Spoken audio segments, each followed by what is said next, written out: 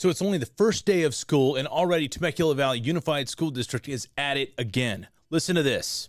So I'm within earshot of a bunch of Great Oak High School upperclassmen, listening in shock as, and disgust as they describe how awkward today was at Great Oaks High School. Apparently, the Giant Stadium first day back shindig featured an openly gay dancer who invited teachers and students up on stage to essentially twerk. He then made a point to tell the audience his story about how he came out when he was 23, he's now in his 40s, and explain how he knew he was gay in the seventh grade. He, quote, knew it when a girl came over to his house and sat on his lap and held his hand and he was repulsed by it.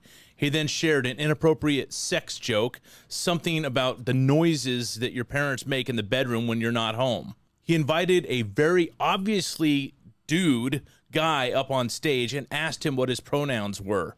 What a wonderful, wholesome day of school spirited fun, none other than Temecula Valley Unified School District. Way to go, party planners. You got the same thing going on in the city of Temecula where drag queens are, are parading around.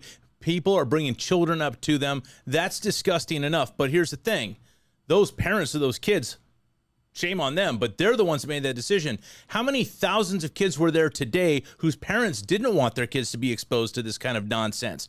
I'm telling you what, the silence from the school board is deafening. What should happen is you should launch a full investigation, find out who's responsible, and fire them. However, we know you're not going to do that, which is why this November there are four highly qualified candidates running against you. You know who they are. And guess what? You're going to lose.